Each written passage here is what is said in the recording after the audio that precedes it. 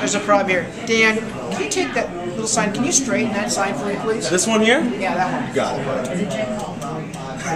That's good.